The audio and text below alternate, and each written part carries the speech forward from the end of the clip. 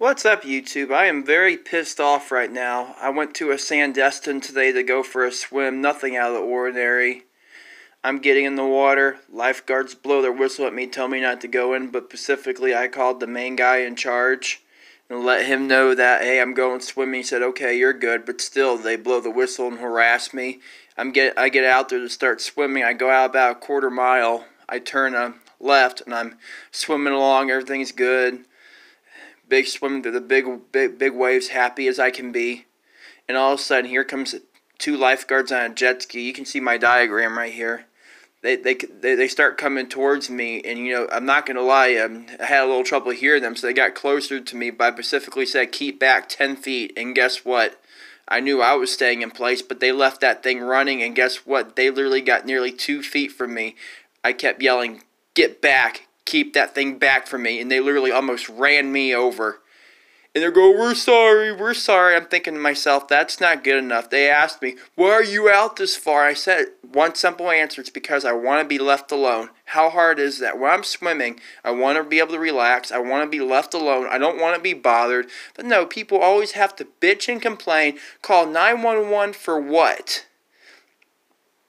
So finally, I keep swimming. They go their uh, own way, and you know, I, I'm going my own way and you know, I swim back to shore about 20, maybe 30 minutes later. I run down the beach. Nobody bothers me. And there were some people who were very positive about what, you know, my swim. They thought that was pretty cool. And there were these people saying that some, about nearly 100 people were gathering around watching me. And supposedly a bet was being made that, oh, oh, let's see if he makes it back. Let's see if he makes it back.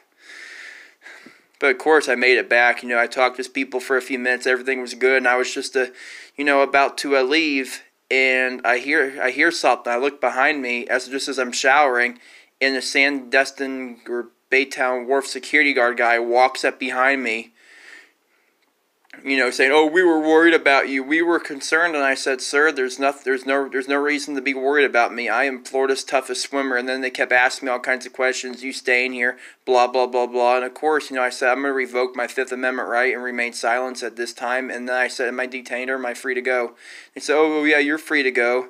And you know, of course, they followed me a little bit more. And, you know, I was getting, I was wondering, it's like what the big deal is in the course. I get back to my bike, and guess what? Here, here they come walking by me trying to talk to me again. And of course, I simply said the same thing. I'm going to revoke my Fifth Amendment right. I'm not going to say anything else. And then the guy said, Don't worry, I'm walking by. I'm not going to say anything else to him. Or I heard that. I'm like, Hmm, okay, we'll see.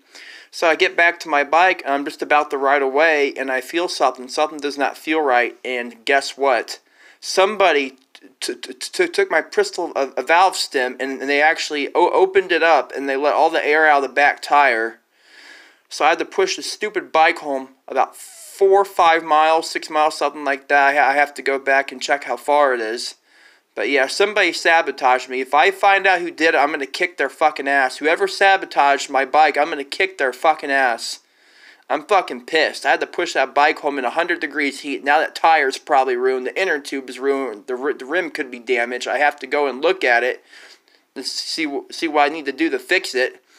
But yeah, I am pissed. I'm tired of all the harassment. I'm tired of people sabotaging my shit. I had an extension cord st stolen stolen for, for, from me uh, at my sale about a week ago. That pissed me off. And now my bike, it's like, what the hell is wrong with people? Yeah, so I finally make it make it home after nearly two hours of pushing the bike. I called the main guy in charge, and guess what? He didn't even care. And I'm thinking to myself, you you don't care that I almost got ran over by by your lifeguards who are supposed to be saving people's lives, but no, they go around harassing people, almost running people over with their jet skis. You know, this is the shit that I'm tired of. Why can't we just all get along and leave each other's stuff alone?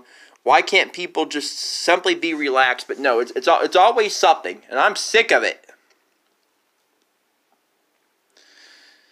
But yeah, guys, that's the story of today, and I'm probably gonna take a nap here in a little bit. Maybe I'll go work on the bike. But yeah, please subscribe for the latest content. And yeah, by the way, this is the uh, diagram of of, of, of, of of where the uh, incident took place at today. Yeah, yeah. Here, let me get a little closer.